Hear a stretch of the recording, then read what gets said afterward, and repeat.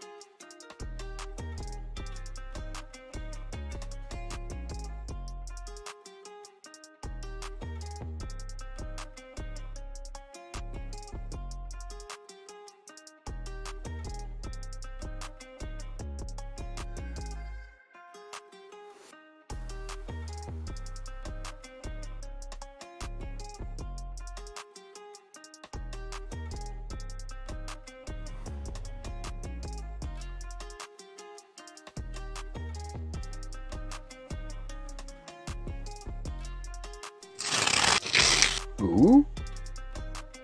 Oh. Ta-da!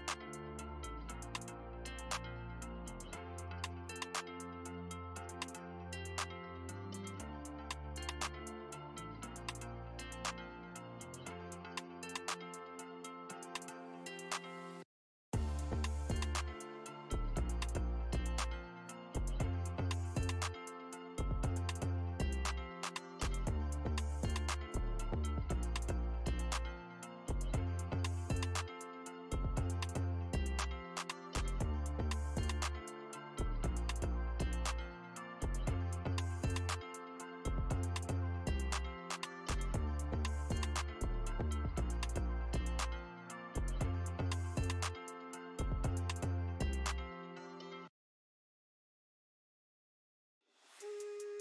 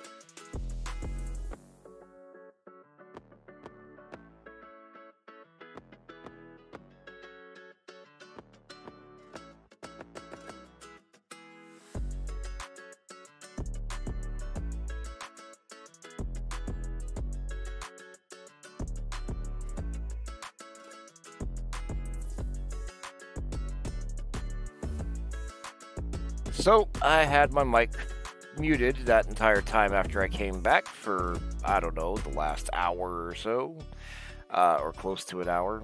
But um, we're here on page 29. We've got everything sketched in. I've got, um, I, I put in this, uh, uh, what do you call it? The, the trim detail on the doorway. Relayed out everybody. I've got the Goblin Barbarian here sketched in, or at least roughed in. We got some skeletons on the floor. Uh, we're going to put all five of those characters into this page. This is uh, page 29. So we finished page 28 before the stream cut out uh, unexpectedly. And uh, so uh, I think I made it about three out of the four hours I intended to do. When I get onto my actual schedule that I plan to be on, uh, I will be streaming from uh, 4 a.m. to 8 a.m. on Saturdays and Sundays. Saturdays will be like a doodle type thing where I draw something random. Sundays, I focus on the coloring book. And I'm going to be, let's see, this is page 29. I'll probably have 29 done, maybe even 30 done by next Sunday. Uh, so we'll be, we're, we're going to be finishing up the pencils on the coloring book yeah, sometime that'll be December 4th is Sunday. So, um, yeah, so we'll be finishing off the coloring book, maybe, maybe finishing off the pencil stage next weekend. That would be really cool. Um, but anyway, if uh, if you can can join me, come join me while I'm streaming. Chat on Saturdays when I do the uh, doodles. Uh, you know, we'll, we'll draw whatever, um, you know, whatever you suggest, or add suggestions to the drawing, that kind of thing. It's just, uh, just kind of screwing around. And uh, I started a doodle this Saturday that I'll continue working on until I get uh, people in the uh, in the stream chat, and then we'll change things up from there. Um, what else? Uh, that's about it, I think. So I do want to thank you for stopping by and watching my stream. Uh, the music we've been playing in this stream is uh, copyright free, provided by uh, me. Uh, check it here. Hozone on Fire. Uh, that is their YouTube name. You can find them on Spotify and on Instagram, and they are in the video description, or like the video title for this uh, video. And if you're following me on YouTube, or if you're watching me on YouTube, uh, do like and subscribe. I'd appreciate that. If you're here on Twitch, give me a follow. Uh, and that's going to be it. Uh, thanks for coming, and I will see you next time.